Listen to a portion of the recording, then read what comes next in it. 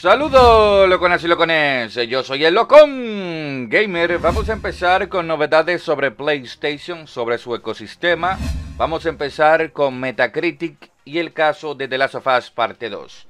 Esta, luego del bombardeo a negativo, dice que hará algunos cambios como que los usuarios no puedan eh, rápidamente poner una nota el videojuego saliendo, que por lógica nadie se lo va a pasar cuando se lance el videojuego al mercado. Entonces, se puede entender en la prensa que juega el videojuego y todo esto, y sí puede puntuar el videojuego, pero un usuario no lo podría pasar a la velocidad de la luz. Estoy totalmente de acuerdo, pero el problema es que la fórmula de Metacritic no sirve. No importa si lo pone dos o tres días después de lanzarse el videojuego que se pueda puntuar, será exactamente lo mismo y me hace gracia que solamente se hable, por ejemplo, de bombardeo negativo, pero también hay bombardeo positivo. ¿De qué vale de que tú bloquees o trates de evitar los bombardeos negativos y dejarlo positivo? Entonces no estamos prácticamente nada. La fórmula de Metacritic no sirve. La única fórmula que sirve para puntuar es la de Steam. Solamente puedes analizar el videojuego cuando lo compras y tienes que jugar ciertas horas y cuando tú ves el análisis de una persona, te dice cuánta hora lo ha jugado y te dice prácticamente cosas que tú puedes ver si se puede tomar en serio ese análisis de ese usuario. Porque un usuario te puede poner jugó una hora y puede decir de todo y tú, bueno, una hora todavía no es suficiente. Entonces, así tú puedes ir viendo realmente si se puede tomar en serio, porque es una persona que lo ha comprado y ha jugado determinadas horas y está analizando el videojuego. A uno, a cualquiera que se meta, al típico hater, o si quieren hacerle una campaña negativa como positiva a un videojuego, agarrar, colocarle cero, como agarrar y colocarle dieces. Porque hay un bombardeo de ambas partes, tanto 10 como 0. Entonces que no vale la pena este sistema. Para mí la fórmula de Metacritic no sirve y la prensa tampoco sirve. Usted va a tener que ver videos por ahí, ver si le gusta o no porque no se lleve ni de la prensa. No importa el videojuego. La prensa está demostrando últimamente que donde una compañía gasta mucho dinero en un videojuego en publicidad, da buena nota. Y no lo digo por The Last of Us, lo digo por muchos juegos. Videojuego que sea, por ejemplo, sea del mes que sea, si es un videojuego que invierte mucho en publicidad, buena nota va a tener. Y eso lo voy a comprobar más adelante. Ahora pasamos con Coribarlo y el supuesto coqueteo con Xbox. Esto ha surgido, no me puse a investigar, pero ya veremos qué pude notar o qué pude encontrar sobre esto. Xbox hace una publicación vía Twitter donde pone esto. Si al principio no tienes éxito, carga a una partida guardada anterior. Entonces, lo que le responde Cory Barlow es que mejor eliminen esa partida y empiecen de nuevo, desde cero. Dejando claro que es mejor si tropiezas empezar de cero y no como si tuvieras otra partida y empezar de ahí, sino desde cero. Esto ha generado como que Cory Barlow está insinuando que quiere empezar de nuevo que al parecer se va de Santa Mónica y se irá a Xbox Game Studio, a cualquier estudio de Xbox, que ya no tiene lo de, por ejemplo, que trabaja para Santa Mónica, ni nada de eso. Entré a su perfil y lo que dice es que es escritor y director. Nada más, no dice Santa Mónica, no dice nada, pero anteriormente ya había hablado de esto, de un tema que cuando de su próximo proyecto de un videojuego que tiene que ver como con satélite, tampoco lo tenía. Le diré algo, Cory Barlow saldrá de Santa Mónica cuando termine la trilogía nueva de God of War.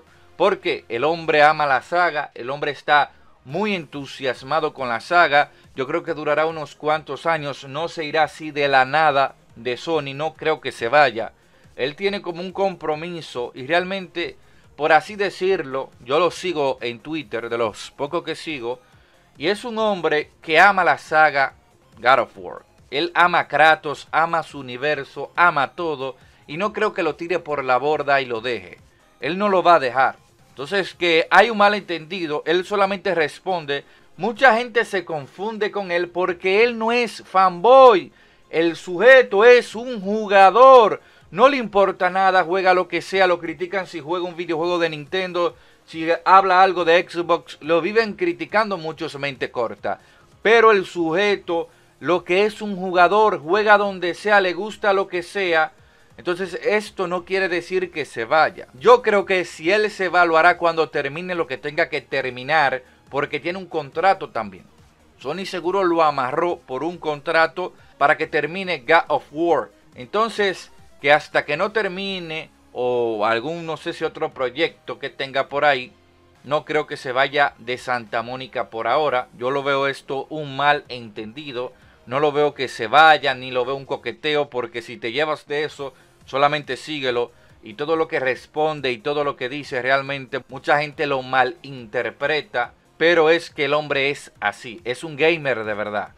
Ahora pasamos con esta supuesta imagen de DualSense supuestamente real. Se puede ver ahí en pantalla. La verdad parece que el mando es real. Podría ser también que fuese 3D, un fake. No se puede notar, pero parece real.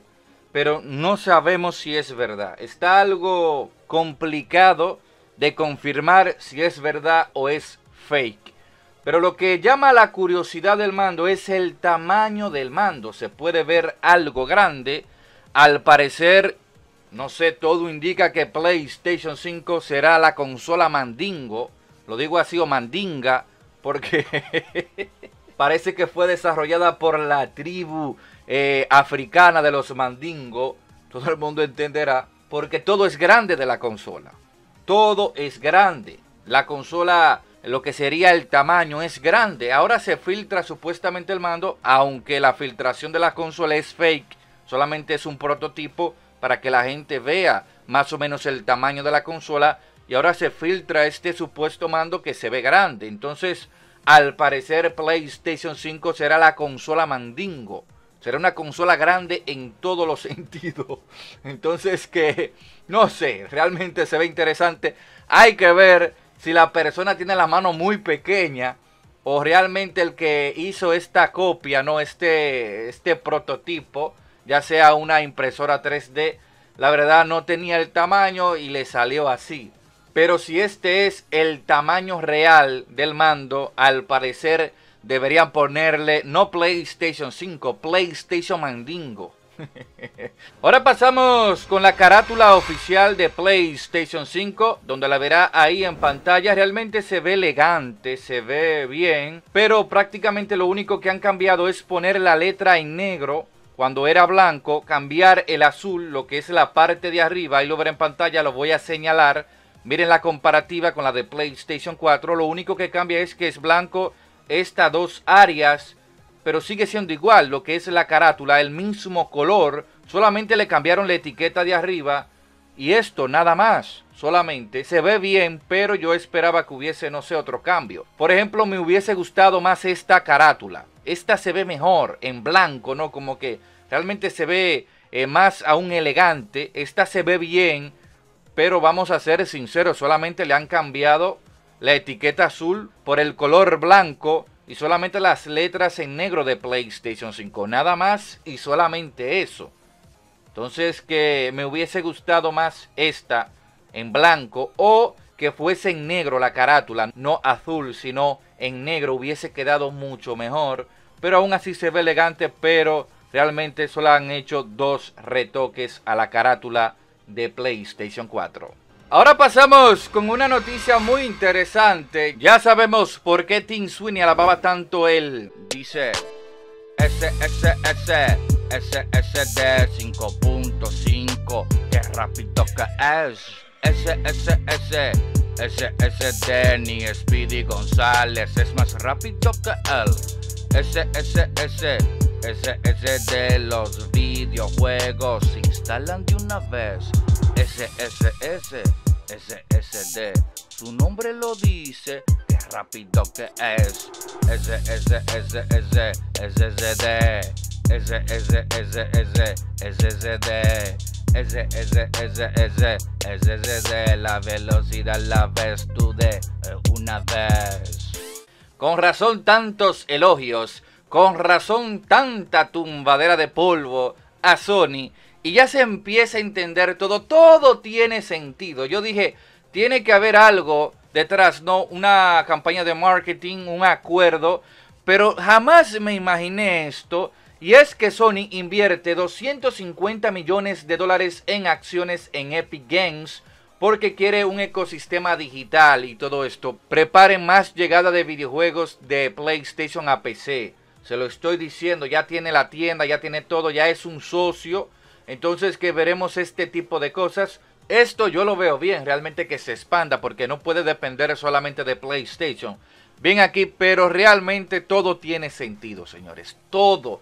Yo lo encontraba raro como una compañía que hace un motor hasta para móviles, que su nuevo motor Unreal Engine 5 es para todo. Tú te enfocas solamente en una consola y le lanza siempre no piropos y siempre no que PlayStation, que lo que tiene PlayStation es esto, que el SSD, que el SSD y ya todo tiene sentido. Ya todo tiene sentido. Sony es una accionista seguro mayoritaria que tiene muchas acciones porque ha invertido 250 millones de dólares en acciones. Ya la hace claramente una socia. Entonces, ven por qué suceden las cosas, que uno no es un hater es que era algo obvio, que había algo detrás porque era demasiado ya notorio lo que hacía Epic Games. Agárrense, que ya Sony es socia, a Sony le conviene llevar sus exclusivos a Epic Games y a su tienda, mejor dicho, a la tienda de Epic Games, para así ganar más dinero porque le conviene, ya es una socia, ya tiene una inversión, una gran inversión en Epic Games. Y ya se empieza a reflejar la visión de Sony también de llevar sus títulos a PC. Espere pronto nuevos anuncios de videojuegos que llegarán a PC por la vía de Epic Stores. Pues bien, ahí se nota realmente la careta de Tim Sweeney. Tim Sweeney, sabía yo. Tim Sweeney, con razón, tanta defensa y tantas cosas, ya se entiende por qué. Señores, hemos terminado con estas novedades sobre PlayStation. Me escribe en los comentarios qué usted piensa de esto, que Sony sea ya una socia, que haya invertido 250 millones en acciones, también lo de DualSense, también lo de Metacritic, lo de Cory Barlow, todo lo que hemos abordado en los comentarios. Si te gusta mi canal, si te gusta mi contenido, te invito a que te suscribas. Yo soy el Ocon Gamer, digo hasta luego me quité a qué, a loquear por ahí, hasta la próxima Locones. Mm, bye. Ese, ese, ese, ese, ese, ese la velocidad la ves tú de una vez.